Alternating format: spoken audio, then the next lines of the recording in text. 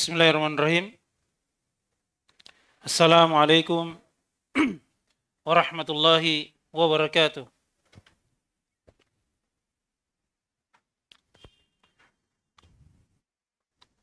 Innal hamdalillah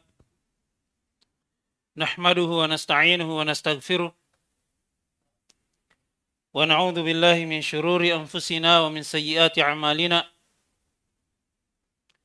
من يهده الله فلا مضل له ومن يضلل فلا هادي له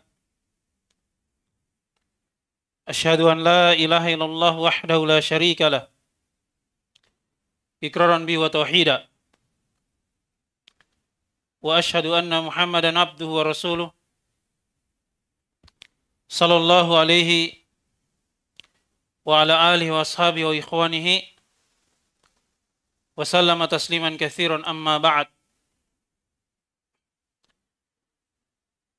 معاشر الإخوة والأخوات رحمني ورحمكم الله Alhamdulillah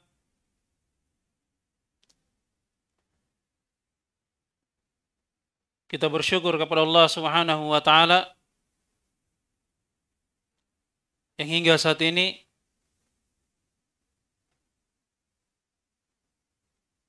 masih memberikan kepada kita seluruhnya dari berbagai curahan nikmatnya. Yang tentunya kita sebagai hamba Allah Subhanahu wa taala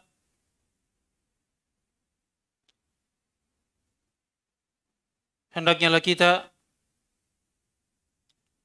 berupaya untuk selalu mewujudkan kesyukuran di dalam hidup dan kehidupan kita di dunia ini.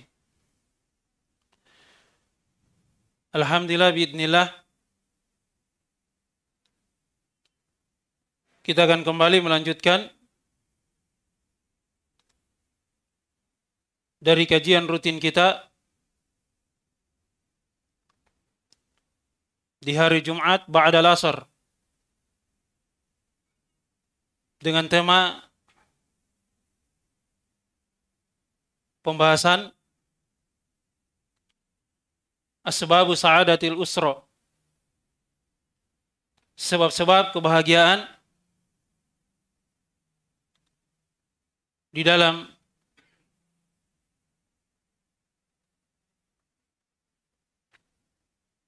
kehidupan rumah tangga. Risalah yang ringkas ini adalah karya dari ya, seorang ulama di masa ini masyhur Syekh Sulaiman Ar-Ruhaili hafidahullah taala. Pada pertemuan yang sebelumnya kita telah menguraikan.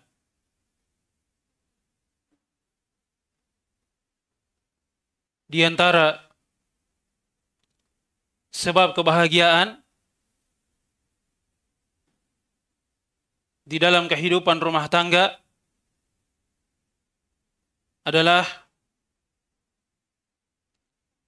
zikrullah azza wa jalla senantiasa berzikir mengingat Allah Azza wa Jalla.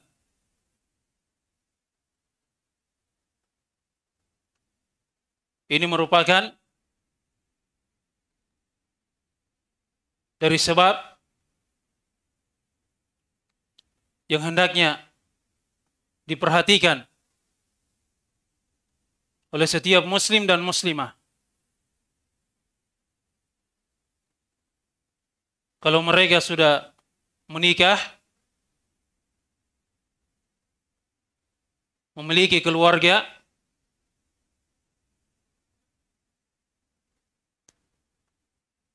maka hendaknya selalu diperhatikan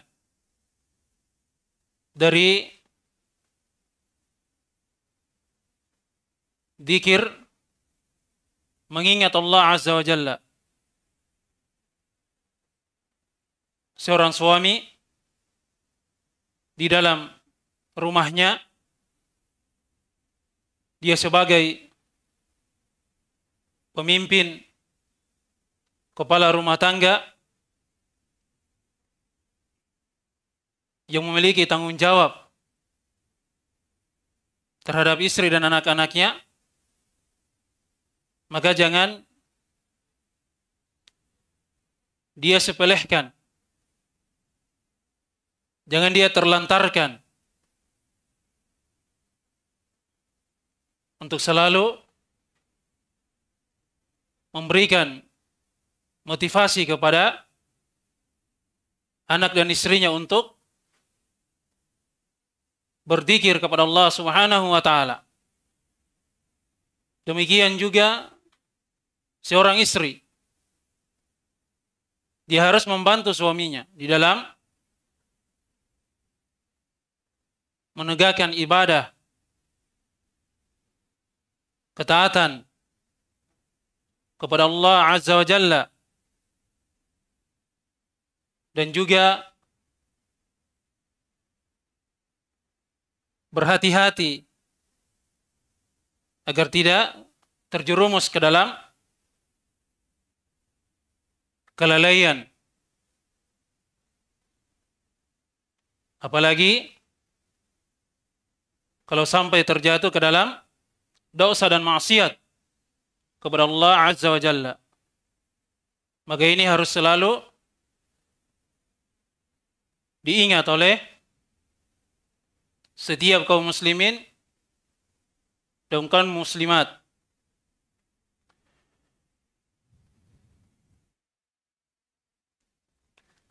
Di dalam rumahnya,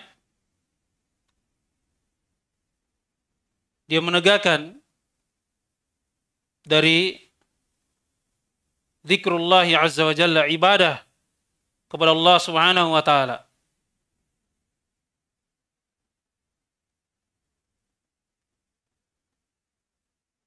dan juga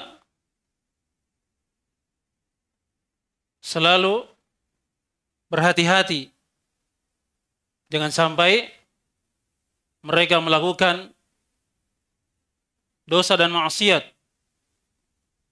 di dalam rumah mereka. Kemudian kata beliau, Hafidhullah Ta'ala, wa min asbabi sa'adatil usar ayakuna ar-rajulu qayyiman ala zawjatihi ra'iyan li usratihi fa inna Allah subhanahu wa ta'ala yaqulu fi kitabih al-karim ar-rijalu qawwamuna 'ala an-nisa bima faddala Allah ba'dahum 'ala ba'din wa bima anfaqu min amwalihim. Hadhihi al-qiyamah min mahasinil Islam wa ni'amillahi azza wa jalla alaina id fiha al-khairul azim wa fiha muwafaqatu fit fitrati zawji wa zawja wal qiwama tafyidun lizawji bi ayyakuma bima yuslihu sya'na zaujatihi. Kata beliau hafidhahullah ta'ala. Dan dari sebab-sebab kebahagiaan di dalam rumah tangga ayyakuna ar-rajulu qayyiman ala zaujatihi ra'iyan li usratihi. Hendaknya lah ya, seorang lelaki, suami, dia memposisikan dirinya sebagai pemimpin terhadap istrinya. Ra'iyan li usratihi. Dan juga dia seorang suami yang memiliki perhatian terhadap keluarganya. Ini dari tanggung jawab seorang suami, kepala keluarga.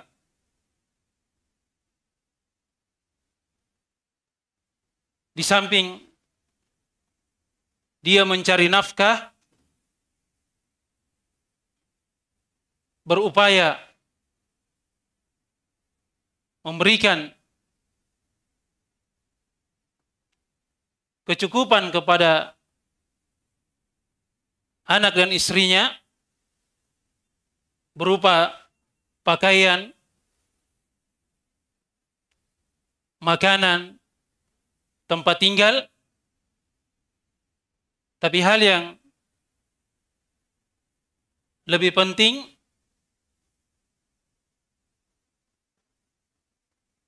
dari hal tersebut adalah bagaimana dia memperhatikan pendidikan agama untuk anak dan istrinya. Perhatian terhadap istri di dalam mengingatkan ibadah kepada Allah Subhanahu wa taala. Apa yang menjadi kewajiban seorang istri?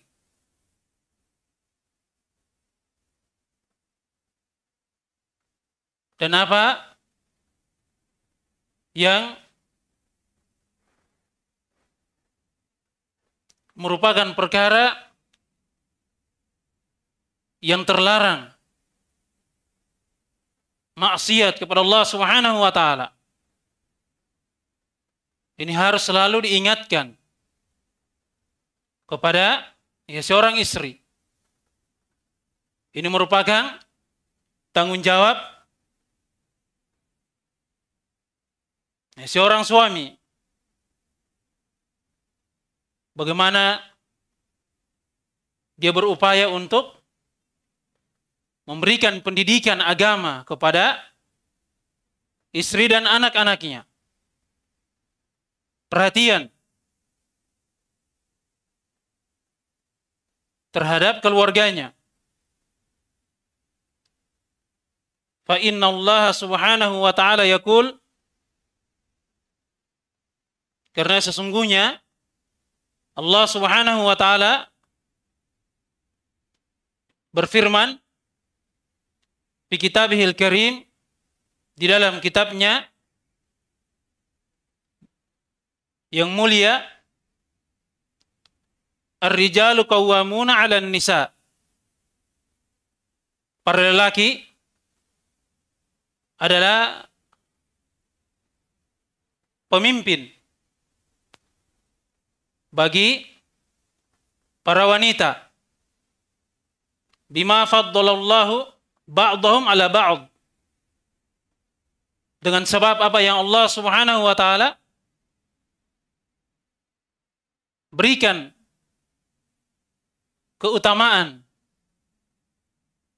kepada sebahagian mereka di atas sebahagiannya lagi. Wa bima anfaku min amwalihim. Dan terhadap apa yang para lelaki itu memberikan nafkah dari harta-harta mereka.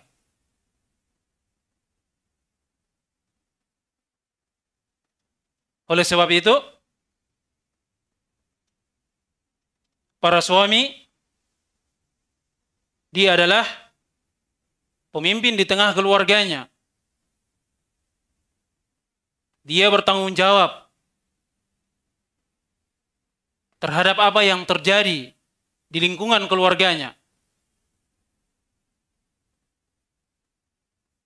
Kalau ada dari anak-anaknya yang melakukan dosa dan maksiat dan dia tidak perhatian dengan hal tersebut, maka ini akan ditanya di negeri akhirat dan juga istrinya kalau dia tidak membantu suaminya di dalam menjaga, mendidik dari putra dan putrinya.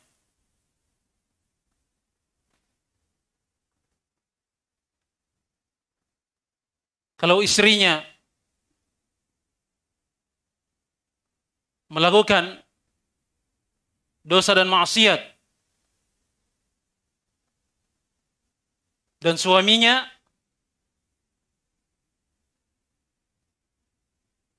tidak memberikan nasihat, pengajaran, tidak menegur, memberikan peringatan, maka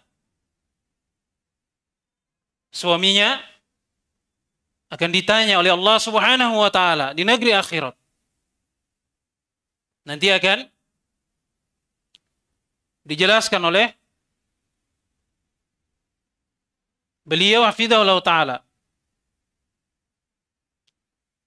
Kemudian kata beliau, Hafizullah Ta'ala, Al-Qiwamah min mahasinil Islam.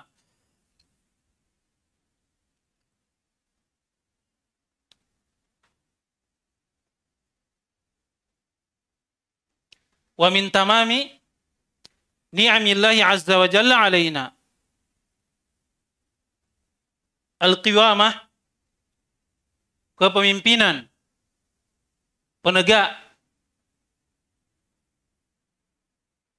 ini merupakan dari nilai-nilai kebaikan di dalam agama Islam dan juga dari kesempurnaan nikmat Allah Azza wa Jalla kepada kita seluruhnya. Id fihal khairul azim. Di dalamnya terdapat kebaikan yang amat agung. Wa fiha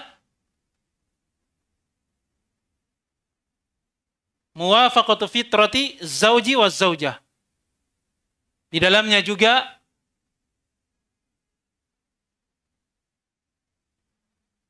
terdapat kesesuaian fitrah dari suami dan istri. Wal qiyamah tafwidun lizauji. Al qiyamah maksudnya adalah penyerahan, penyandaran urusan kepada suami.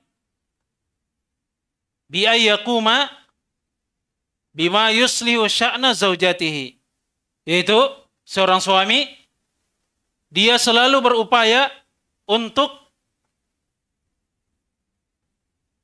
memberikan menegakkan kebaikan-kebaikan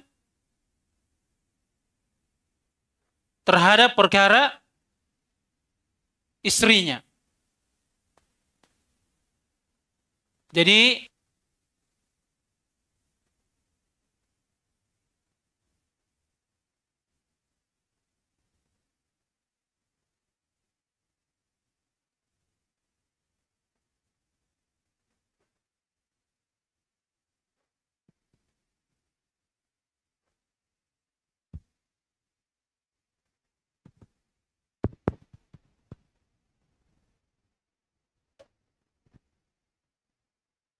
Jadi di dalam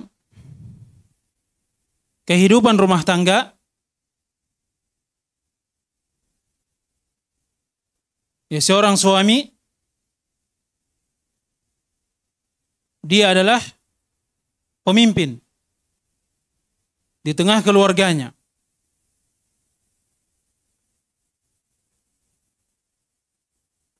Dia harus memiliki jiwa kepemimpinan untuk anak dan istrinya.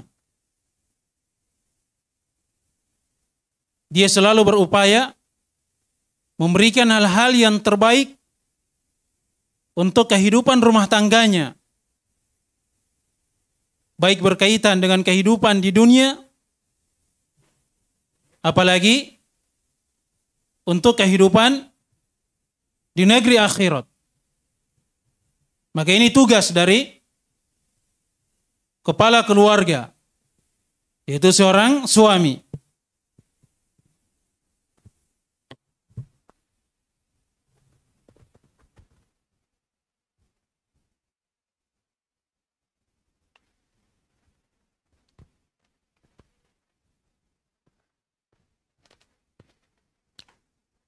Kemudian kata beliau hafizahullah taala qala Syekh Ibnu Sa'di rahimahullah taala yukhbirullah taala anna ar-rijala qawwamuna 'ala an-nisa. Ay qawwamun 'alayhinna بإلزامهن بحقوق الله تعالى من المحافظة على فرائده وكفهن عن المفاسد. والرجال عليهم أن يلزموهن بذلك. وقوامون عليهن أيضا بالإنفاق عليهن. Wal kiswah wal maskan. Ini di dalam tafsir As-Sa'di. Kata beliau Allah taala Syekh Abdurrahman bin Nasir As-Sa'di rahimahullah taala beliau berkata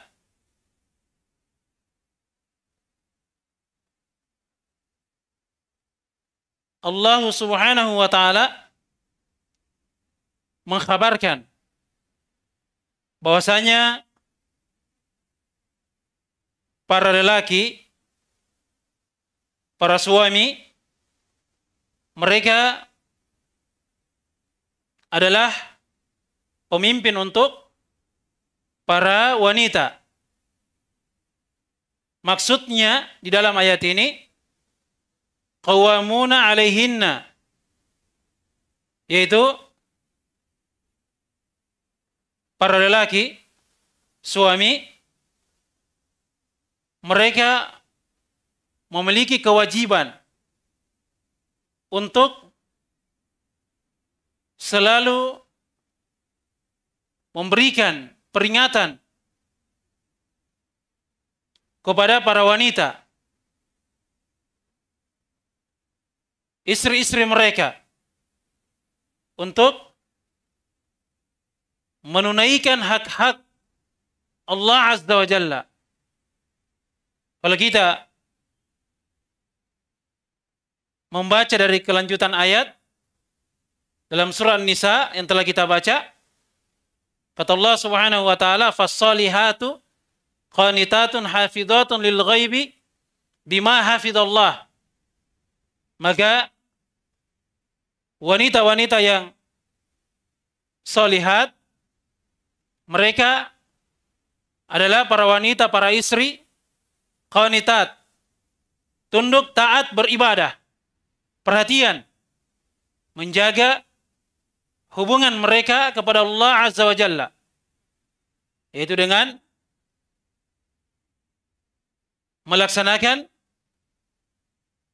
apa yang Allah Azza wa Jalla wajibkan kepada mereka. Kemudian hafizatun lil ghaibi bima hafizallah yaitu para wanita, para istri yang pandai menjaga kehormatan mereka. Dengan apa? Yang Allah Azza wa Jalla menjaga untuk mereka. Ini kaitannya dengan hak terhadap suami.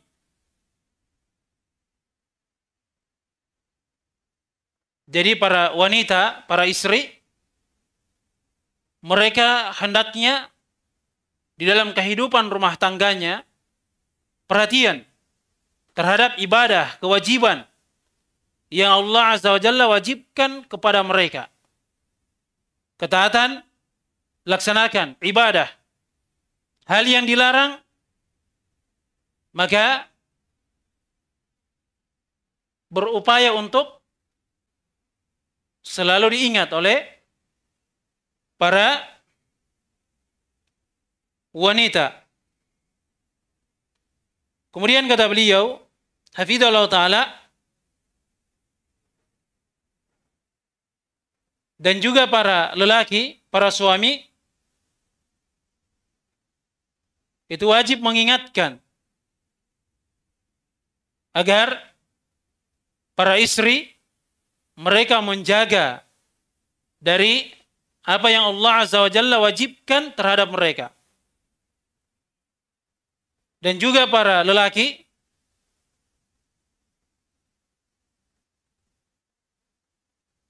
punya perhatian. Jangan membiarkan para wanita istrinya itu terjatuh ke dalam berbagai kerusakan, dosa dan maksiat. Kalau dia ya seorang suami yang jujur kecintaannya kepada istrinya, maka pasti dia tidak akan pernah membiarkan istrinya menelantarkan kewajiban-kewajibannya.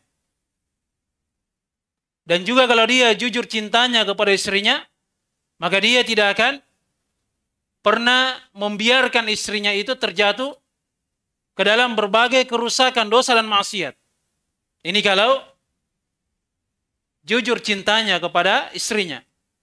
Oleh sebab itu, para suami dan juga para istri selalu mendasari cinta mereka karena cinta kepada Allah Azza wa Jalla. Ini yang akan memberikan pertolongan kepada mereka di tengah keluarganya. Maka para lelaki suami itu wajib untuk mengingatkan para wanita di dalam hal tersebut. Jangan dia biarkan kalau istrinya bermalas-malasan untuk mengerjakan sholat, jangan dia biarkan. Selalu dia berikan nasihat dan motivasi agar istrinya itu memiliki semangat untuk beribadah kepada Allah Azza wa Jalla. Dan seorang istri sesibuk apa pun dia di dalam mengurus kehidupan rumah tangganya, melayani suaminya, mendidik putra dan putrinya, maka jangan dia terlantarkan ibadahnya kepada Allah Azza wa Jalla. Jangan dia benturkan. Jangan dia pertentangkan. Jangan sampai dia bermalas-malasan karena dia mengurus dari berbagai urusan rumah tangganya. Harus dia tetap perhatikan ibadah dia kepada Allah Azza wa Jalla. Maka ini harus selalu diingat. Ya, seorang suami juga punya perhatian. Kalau istrinya lagi capek, lelah, karena mengurus dari rumah, kemudian mengurus dari anak-anaknya, dan juga melayani dirinya, maka jangan dia beratkan lagi istrinya. Harus ada saling pengertian, saling membantu. Jangan dia selalu menganggap e, ini pekerjaan perempuan, ini pekerjaan istri. Tidak pantas saya yang kerjakan, tidak layak. Saya sebagai suami, masa saya misalnya yang mencuci. Masa saya yang menyetrika. Masa saya misalnya yang mengurus anak maka harus saling pengertian, saling membantu di dalamnya. Jelas ya?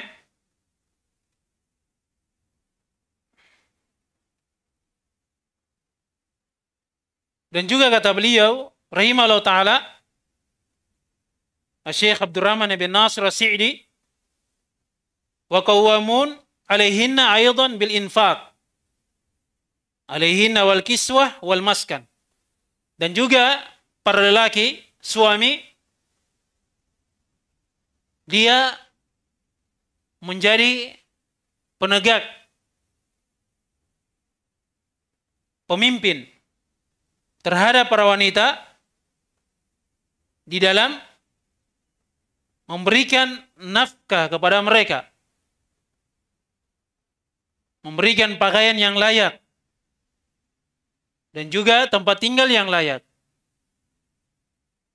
Ini harus dia perhatikan. Dia sebagai kepala rumah tangga. Dia berupaya untuk membahagiakan istrinya. Membahagiakan anak-anaknya. Agar mereka mendapatkan kenyamanan, ketentraman di dalam kehidupan mereka.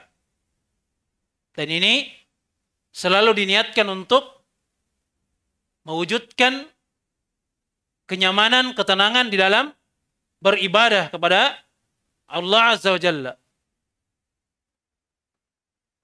Selalu kita niatkan untuk ibadah. Kita sebagai kepala keluarga, ketika kita keluar mencari nafkah, kita niatkan ini kewajiban kita ada nilai ibadah. Kita berikan makan dari jalur yang halal, minuman, pakaian, dari penghasilan yang halal dan juga tempat tinggal, kita niatkan agar di dalam rumah tangga kita, kita mendapatkan ketenangan dan kenyamanan untuk beribadah kepada Allah Azza wa Jalla agar seluruhnya itu bernilai ketaatan pahala di sisi Allah Azza wa Jalla. Jelas ya? Di dalam riwayat Al-Imam At-Tirmidzi dari sahabat Amr bin Al-Ahwas radhiyallahu taala anhu Rasulullah SAW bersabda, Ala inna lakum ala nisaikum haqqan. Wali nisaikum alaikum haqqan. Fahaqqukum alaihinna alla yuti'na fursyakum man takrahun. Wala ya'dan fi buyutikum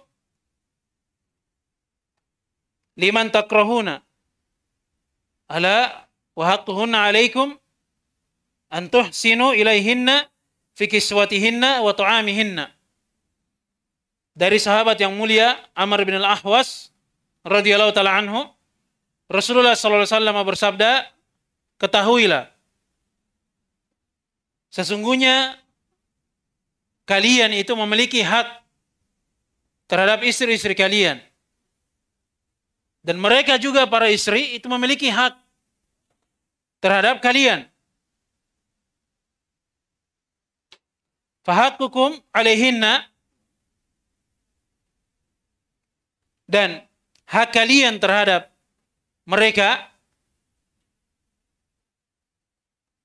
alla yuti'na furushakum man takrahuna yaitu mereka tidak boleh membiarkan seorang pun yang tidak kalian kenal atau yang kalian tidak sukai untuk berada di atas permadani kalian. Wala ya'danna fi buyutikum liman takrahunna. Dan mereka tidak boleh mengizinkan siapa pun yang kalian tidak suka, yang kalian benci untuk memasuki rumah kalian. Kemudian kata beliau sallallahu alaihi wasallam, "Ala wa haqquhunna 'alaikum an tuhsinu ilaihinna fi kiswatihinna wa ta'amihinna." Dan ketahuilah hak mereka para istri itu kepada kalian adalah kalian hendaknya berbuat baik kepada mereka di dalam memberikan pakaian dan makanan untuk mereka. Jadi suami dan istri masing-masing ada haknya dan juga ada tanggung jawabnya. Mereka berdua harus memperhatikan apa yang menjadi tanggung jawabnya. Seorang suami dia penuhi tanggung jawabnya terhadap istrinya. Seorang istri juga demikian. Dia berupaya melayani suaminya maksimal di dalamnya. Kalau misalnya ada hal yang kurang dari haknya, maka bersabar.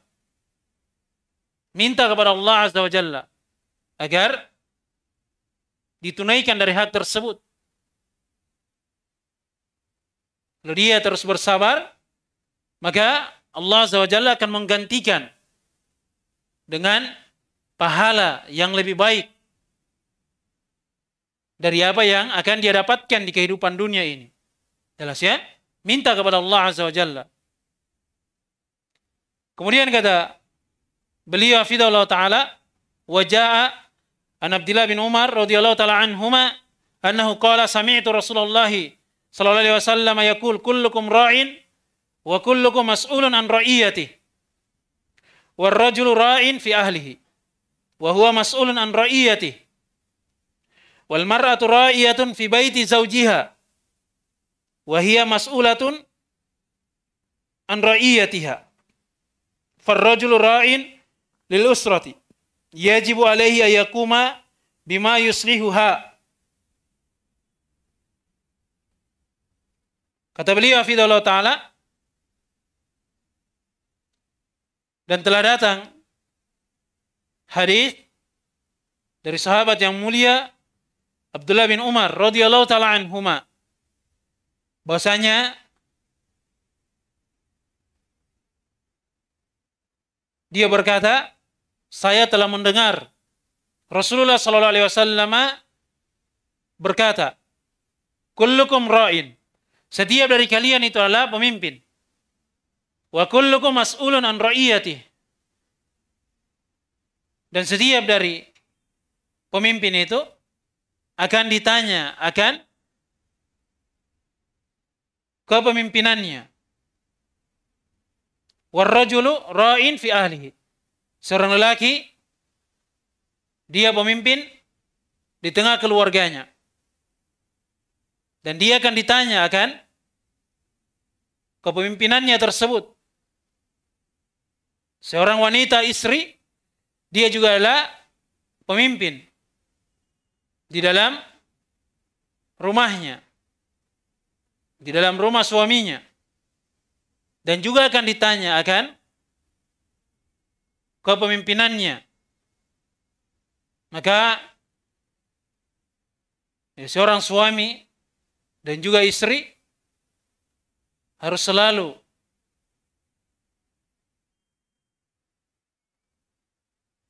mengingat bahwa apa yang mereka lakukan di dalam rumah tangganya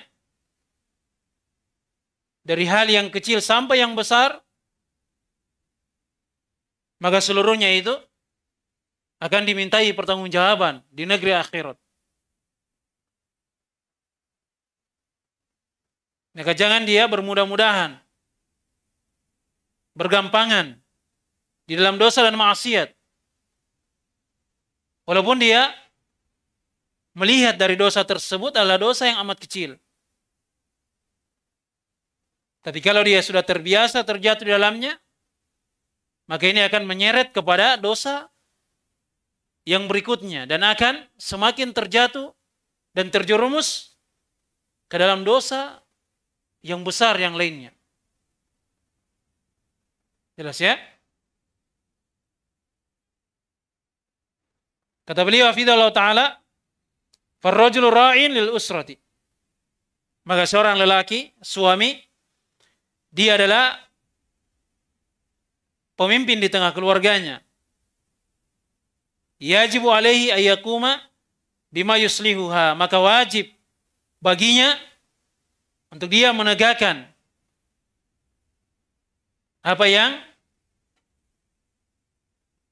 memberikan kebaikan atau perbaikan di dalam rumah tangganya. Waqad qala Nabi sallallahu alaihi wasallam, "Ma min abdin yastar'ihi Allah ra'iyatan yamutu yauma yamut wa huwa ghashun li ra'iyatihi illa harramallahu alaihi al-jannah." Dalam riwayat Bukhari Muslim.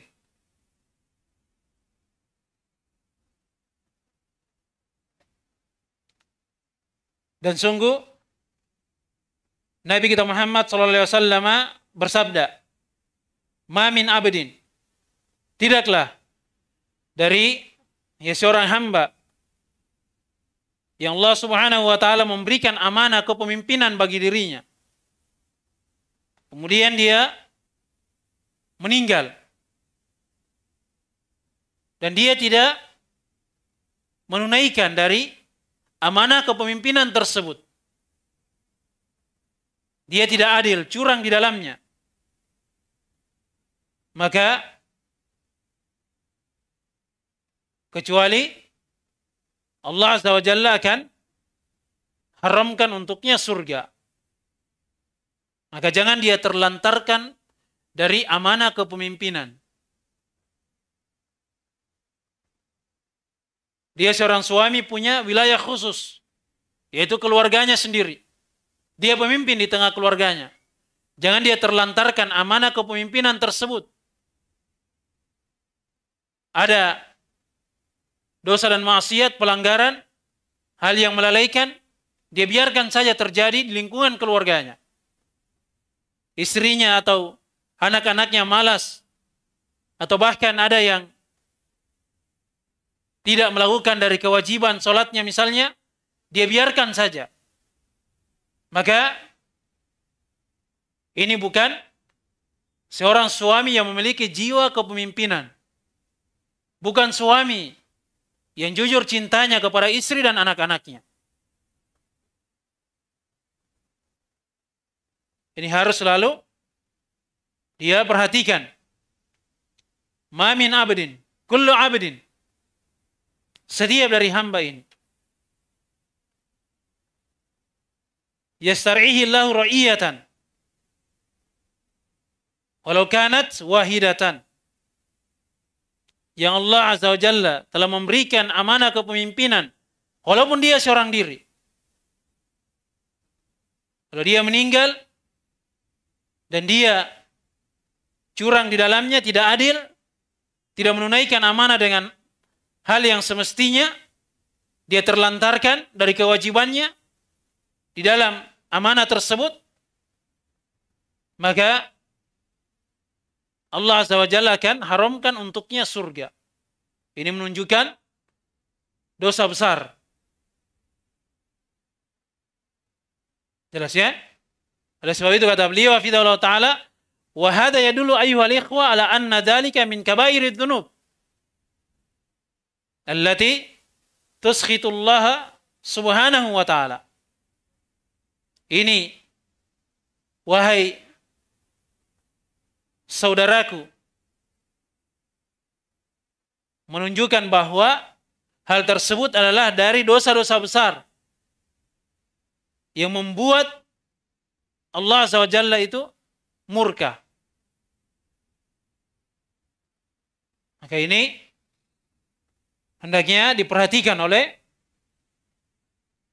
setiap kepala keluarga. Jangan karena rasa cintanya kepada istrinya atau kepada putra dan putrinya akhirnya dia turuti segala keinginan dan kemauan dari istri dan anak-anaknya. Padahal hal tersebut adalah hal yang melalaikan menjauhkan dia dari Allah Azza wa Jalla. Kadang itu adalah perbuatan dosa dan maksiat sehingga dia meninggalkan dari apa yang Allah SWT wajibkan untuknya, tapi dia biarkan hal tersebut. Jelas ya? Maka ini merupakan indikasi atau alamat cintanya itu bukan karena Allah SWT. Jelas ya? Maka dia harus tegar di dalam memberikan wejangan nasihat harus bijaksana di dalam hal tersebut. Dia berikan peringatan, dia berikan nasihat sesuai dengan kadarnya. Jangan dia keras, tapi jangan juga dia remehkan. Dia biarkan saja. Jelas ya? Dia bisa menggunakan tangannya. Kalau dia lihat kemungkaran, tapi itu harus sesuai dengan kadarnya. Terkadang istrinya atau anak-anaknya terjatuh ke dalam dosa dan maksiat diberikan peringatan tidak diindahkan tetap dilakukan mungkin dia berikan pukulan tapi pukulan yang tidak memberikan bekas atau pukulan yang tidak memberikan atau menimbulkan cacat pada keluarganya itu. Sebagai pukulan yang mendidik. Jelas ya? Ini harus dia perhatikan.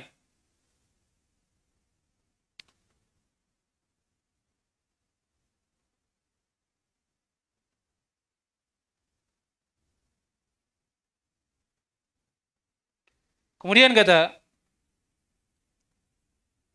Beliau Fidullah Ta'ala Masih ada waktunya ini? Hah? Masih ada ya? Wa min asbabi sa'adatil usar yasudaha al-wud wal mahabba. Yakulullahu azza wa jalla wa min ayatihi an khalaqa lakum min anfusikum azwajan litaskunu ilaiha wa ja'ala bainakum mawaddatan warahma.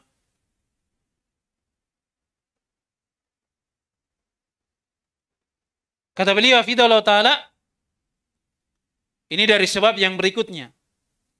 Dan dari sebab-sebab mewujudkan kebahagiaan di tengah keluarga, hendaknya keluarga tersebut didominasi oleh cinta dan kasih sayang. Ini sudah menjadi dasar dan prinsip di dalam kehidupan rumah tangga. Harus ada cinta dan kasih sayang. Sebagaimana Allah Azza wa Jalla berfirman, "Wa min ayatihi an khalaqalakum min anfusikum azwajan litaskunu ilaiha." Dan dari tanda-tanda ayat-ayat kebesaran Allah Azza wa Jalla an khalaqalakum Allah Azza wa Jalla telah menciptakan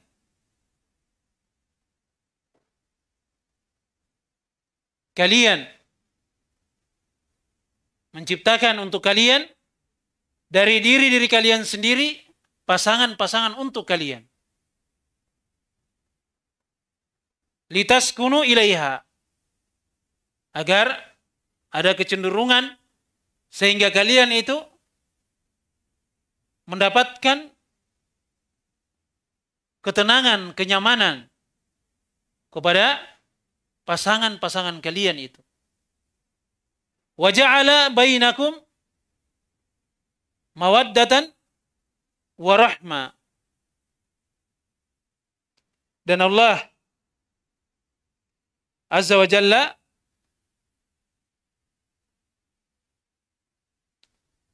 telah menjadikan di antara kalian itu ada cinta dan kasih sayang. Ini menjadi prinsip dan dasar dalam kehidupan rumah tangga. Harus didominasi oleh cinta dan kasih sayang.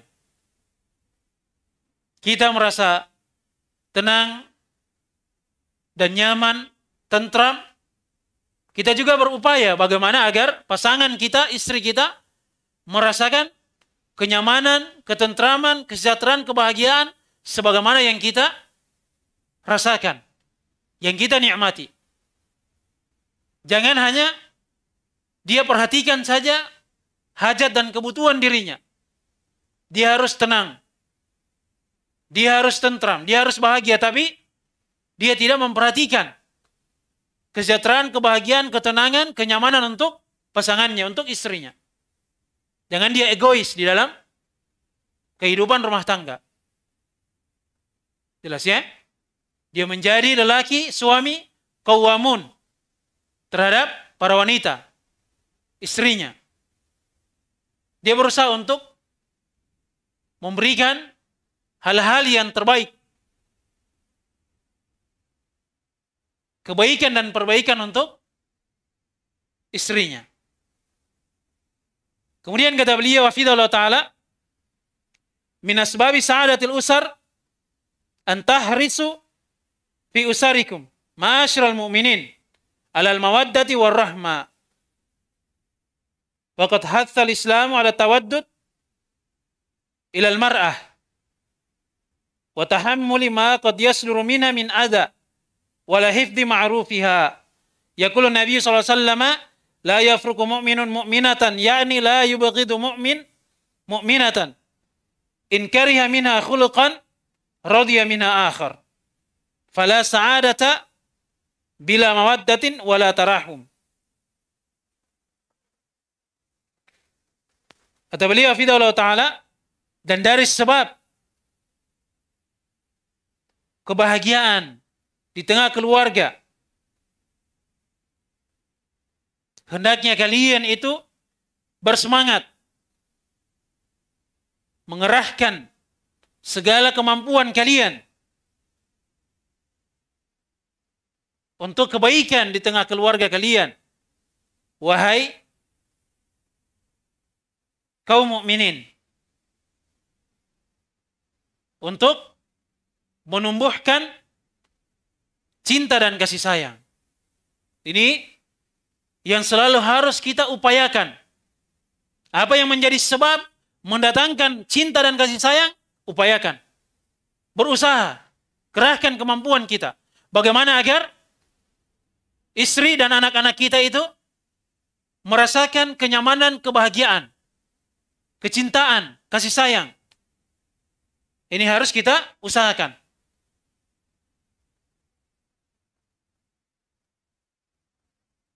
Dan sungguh Islam, agama yang mulia ini telah memberikan motivasi, dorongan untuk selalu memberikan kasih sayang cinta kepada istri. Jadi kita sebagai kepala keluarga punya ketegasan. Tapi jangan kasar. Dia tegas tapi tidak kasar. Harus bijaksana. Pandai menempatkan sesuatu pada tempatnya. Dia cinta kepada istrinya tapi bukan berarti dia biarkan istrinya apa pun yang dia inginkan walaupun itu adalah dosa dan maksiat dia biarkan. Tidak. Tapi dia berikan batasan-batasan. Yang memang batasan-batasan tersebut adalah karena dasar cinta dia kepada istrinya. Jangan sampai istrinya itu terjatuh dalam dosa dan maksiat pelanggaran. Kalau dia cinta kepada istrinya, maka kecintaan ini dia rawat agar selalu terjaga sampai di negeri akhirat. Dia menginginkan agar dia berkumpul dengan keluarganya nanti di negeri akhirat. Dan dasarnya adalah ketakwaan. Ibadah kepada Allah Azza wa Jalla. Itu dijaga. Hal yang diharamkan harus selalu diwaspadai.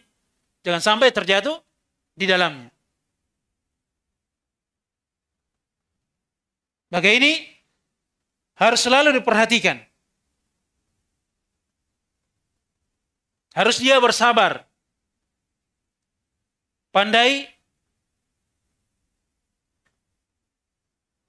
membuka hatinya, membawa dirinya.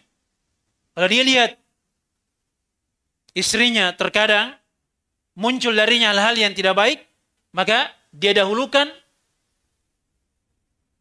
kesabaran.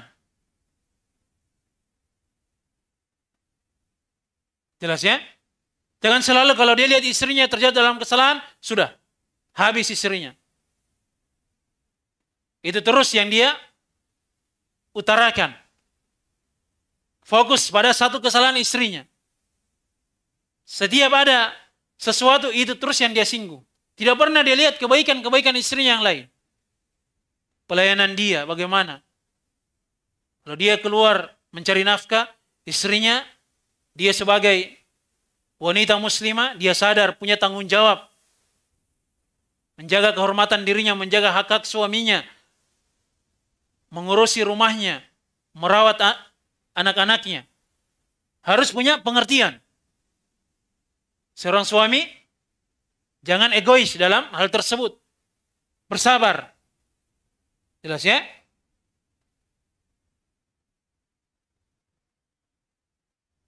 Yaqulu Nabi sallallahu alaihi wasallam berkata Nabi kita Muhammad sallallahu alaihi wasallam la yafruku mu'minun mu'minatan. Yani la yubghidu mu'minun mu'minatan. In kariya mina khulqan radiya minha akhar. Janganlah seorang mukmin itu membenci istrinya. Mukminah in karya minha khuluqan radiya minha akhar. Kalau misalnya dia benci dari istrinya itu satu akhlak yang buruk yang tidak baik. Radiya minha akhar. Maka dia cepat mengingat-ingat dari kebaikan akhlak istrinya yang lainnya. Jangan dia terpaku, terfokus hanya satu kesalahan istrinya saja. Padahal banyak kebaikan-kebaikan yang lain. Ini harus dia tanamkan di dalam jiwanya. Dia sebagai seorang lelaki, suami.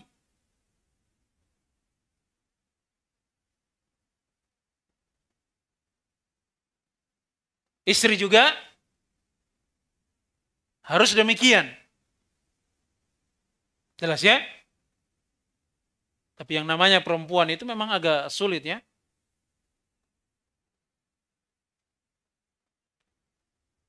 Walaupun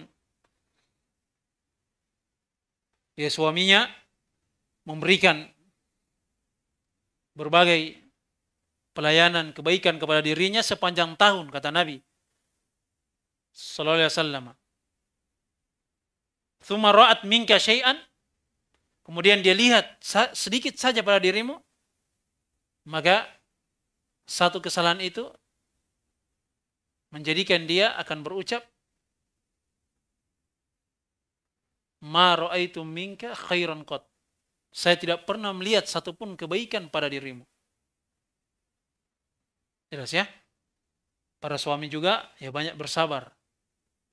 Harus saling pengertian. Doakan istri. Istri juga demikian, doakan suaminya. Fala sa'adata bila mawaddatin wala tarahum maka tidak ada kebahagiaan itu. Tanpa adanya cinta dan kasih sayang. Tidak akan mungkin terwujud kebahagiaan di tengah keluarga. Jelas ya? Kalau tidak ada cinta dan kasih sayang. Ini harus selalu diusahakan, diupayakan. Ada kesalahan istri, kurang dalam pelayanannya, satu hari itu, maka ingat, sudah berapa tahun dia temani kita. Dan terkadang istri itu mungkin tidak pernah mengeluh. Hanya terkadang menangis saja. Ya seorang lagi harus peka dalam hal itu. Dia berupaya untuk berusaha membahagiakan istrinya. Jangan dia buat istrinya itu berlarut-larut di dalam kesedihan.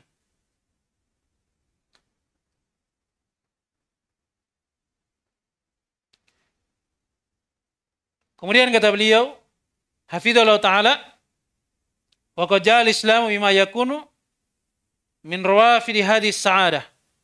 وهي المرأة الصالحة.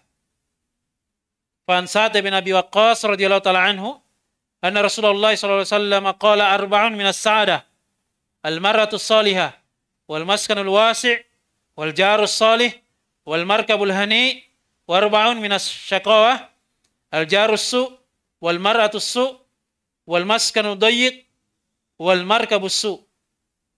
Dalam riwayat Imam Ahmad. Ibnu Hibban Al-Hakim. Dan juga riwayat Al-Bazzar yang disahihkan oleh Syekh Al-Albani rahimahullah taala. Kata beliau fidallahu taala dan sungguh telah datang di dalam agama Islam yang mulia ini dengan sebab-sebab yang akan membantu mewujudkan kebahagiaan. Wahia al-mar'atus salihah. Itulah pendamping hidup istri yang salihah. Ini para suami, para lelaki, sebelum dia menikah, perbaiki diri.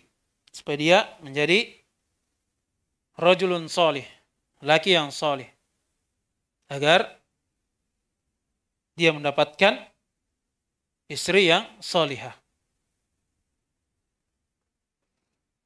Jangan cuma menuntut dapat istri yang solihah, tapi tidak ada keinginan untuk menjadi suami yang soleh. Tidak ada keinginan untuk merubah diri. Menjadi seorang lelaki yang baik. Taat beribadah akhlak yang baik.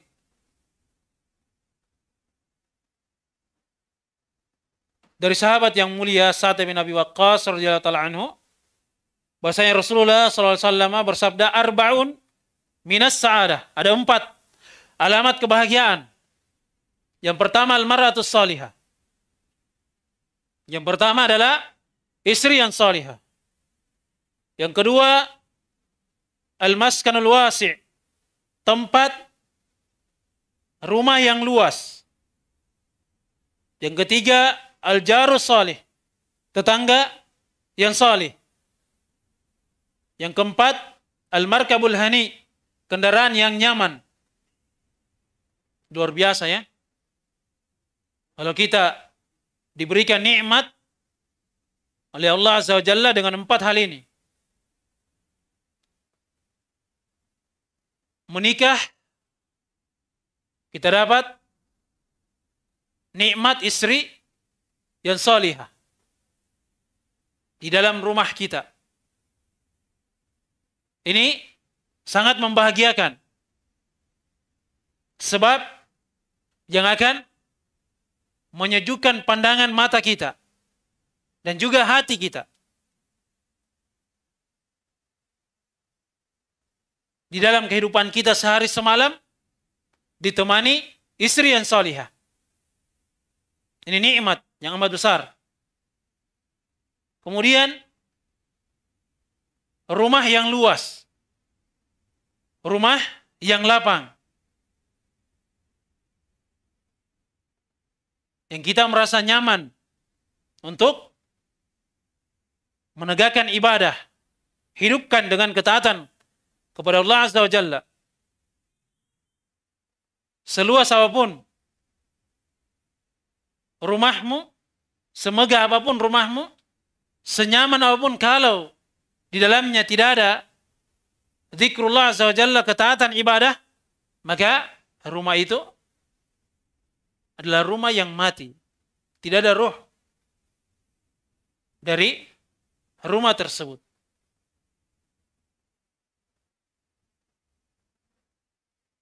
Ini nikmat yang amat luar biasa. Di dalam rumah punya teman hidup istri yang salihah, kemudian rumah yang lapang, kita nyaman menegakkan ibadah. Kemudian yang ketiga, ketika kita keluar dari rumah kita, kita berjumpa dengan al-jarus solih. Tetangga yang solih. Ini akan memberikan pengaruh yang baik terhadap kita. Kalau tetangga kita solih, maka dia tidak akan pernah memerintahkan kita kecuali hal yang baik pula. Dan dia akan melarang kita dari sesuatu yang buruk. Kalau jiwa kita itu kadang baik, kadang tidak. Belum tentu jiwa kita itu memerintahkan kepada sesuatu yang baik. Jelas ya? Tapi kalau tetangga yang solih, sudah pasti dia akan mengajak kita terhadap sesuatu yang baik. Demikian pula istri yang solihah. Pasti dia akan mengingatkan kita hal-hal yang mendatangkan kebahagiaan untuk dunia dan akhirat kita. Dan melarang kita dari hal-hal yang bisa merusak dunia dan negeri akhirat kita. Itu pasti kalau istri kita solihah.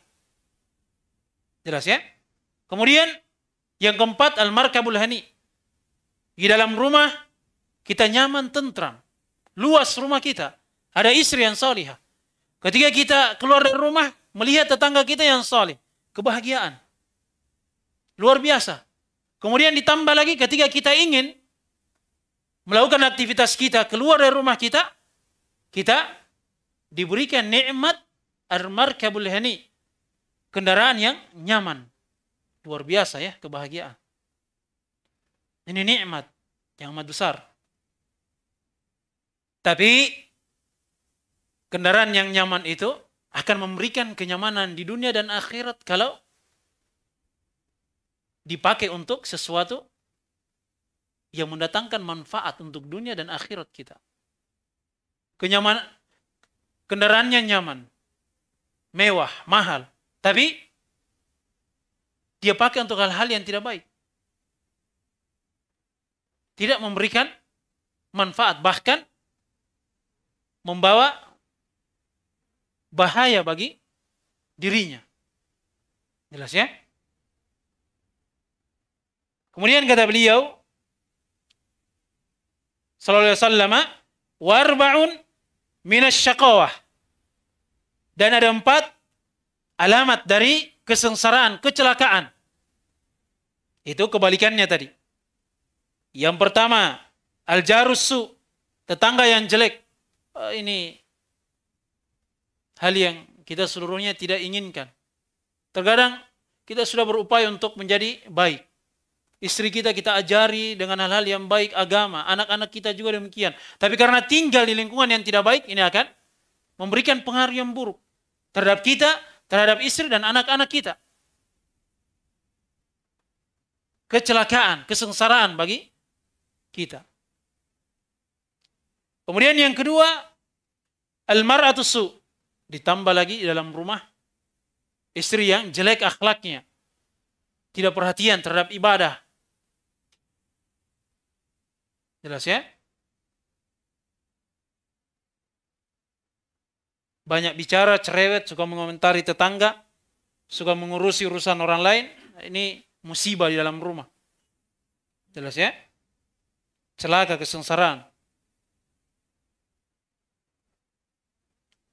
Wal maskanu dayik. Rumah yang sempit. Sudah istri yang buruk akhlaknya, rumahnya lagi sempit, tidak nyaman untuk beribadah, jarang juga mungkin dia beribadah, anak-anaknya lagi tidak perhatian terhadap agama, tidak diperintah untuk sholat, tidak diajarkan supaya belajar mengaji, membaca doa-doa di dalam rumah. Jelas ya? Ditambah lagi kalau dia ingin keluar, al-markabus kendaraannya jelek, banyak masalah. Jelas ya? Tidak menyala lampunya. Di starter tidak bunyi. Jelas ya? Betul-betul celaka ini orang ini. Jelas ya? Ditambah lagi kalau kendaraannya tersebut belum lunas. Subhanallah. Kesengsaraan luar biasa. Sudah capek di luar, pulang di rumah, dapat istri lagi yang buruk akhlaknya. Jelas ya? Ya mungkin sampai sini dulu ya. Insya Allah ta'ala nanti kita sambung pada pertemuan yang akan datang. Dengan izin Allah SWT. Mungkin sampai sini dulu. Ada bertanya ya? Nah, Ustaz, ada bertanya. Hah? Ada bertanya, Ustaz. Ada. Iya. Barakallahu fiik atas kesempatannya, Ustaz. Apakah seorang kakak yang memiliki tugas sebagai pemimpin bagi adik-adiknya, walaupun seorang bapak atau kepala keluarga, masih ada dalam memperhatikan anggota keluarganya agar tetap di atas syariat Allah. Iya. Bismillahirrahmanirrahim. Ini ada pertanyaan. Asalnya yang menjadi pemimpin itu adalah ya, seorang ayah. Dia memiliki tanggung jawab penuh terhadap istri dan anak-anaknya. Tapi terkadang ya seorang ayah mungkin karena ada urusan pekerjaan tugas di kota yang berbeda dengan anak-anaknya maka terkadang sulit untuk mengontrol kehidupan dari anak-anaknya. Maka kakaknya di sini yang lebih tua dan biasanya mungkin sudah ada amanah dari ayahnya. Dia diberikan amanah nasihat untuk memperhatikan adik-adiknya. Maka dia laksanakan dari amanah itu. Jangan dia biarkan adik-adiknya itu melakukan sesuatu yang tidak baik di dalam rumah yang mereka tinggal bersama. Karena kalau terjadi sesuatu yang tidak baik, maka keburukannya itu bukan saja dia yang rasakan, tapi sekeluarga. Jelas ya? Maka harus dia tetap memperhatikan dari adik-adiknya. Dia perintahkan untuk sholat, tekun untuk beribadah, berhati-hati dari hal yang diharamkan, perhatian untuk menuntut ilmu, dan hal-hal yang lain yang memberikan manfaat untuk kehidupan dunianya dan akhiratnya. Jelas ya? Saya kira ini bisa dipahami ya.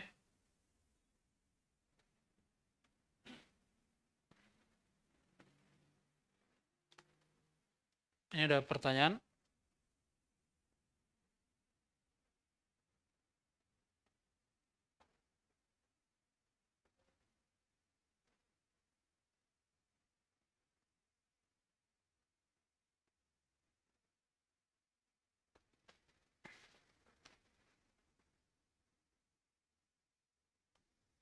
Ya selain dari surah Al-Mulk, Al-Waqi'ah,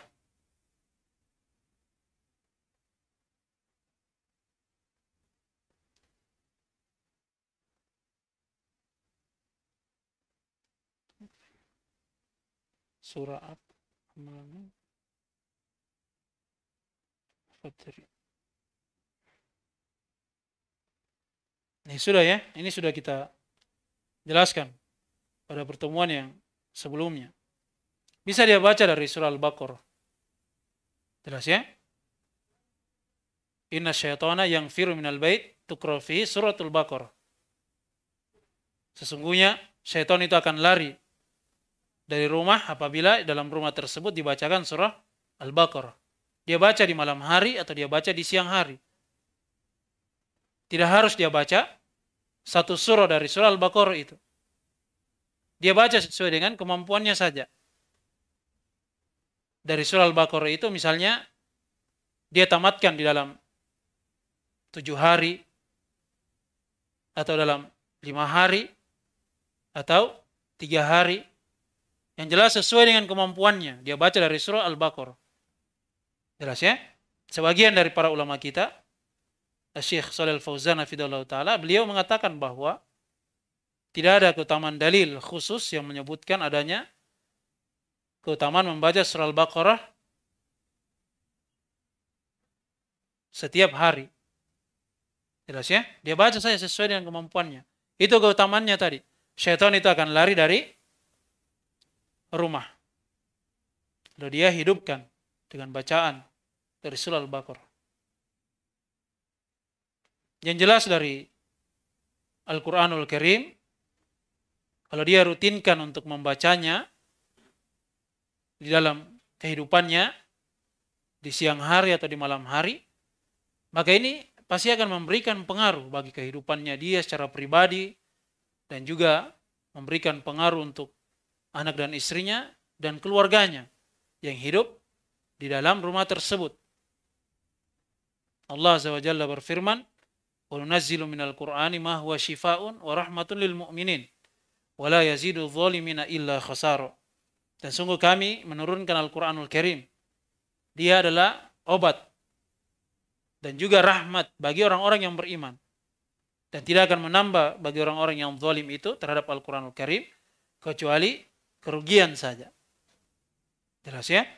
Jadi kalau dia baca Al-Quranul Karim, maka ini adalah hal yang bagus, hal yang baik. Tapi memang ada beberapa dari surah dan ayat-ayat tertentu yang telah kita sebutkan dari keutamannya. Di antaranya dia baca dari tiga kul sebelum dia tidur. Jelas ya? Dia baca dari tiga kul sebelum dia tidur. Nah, saya kira ini ya, apa yang bisa kita sampaikan. Ya, semoga ada manfaatnya bagi kita seluruhnya. Dan semoga Allah Subhanahu wa taala menerima dari seluruh amalan kebaikan kita, melipat gandakannya, mengampuni dari seluruh dosa dan kesalahan kita. Ya subhanakallahumma bihamdik, asyhadu an la ilaha illa anta astaghfiruka wa atubu ilaik. Wassalamualaikum warahmatullahi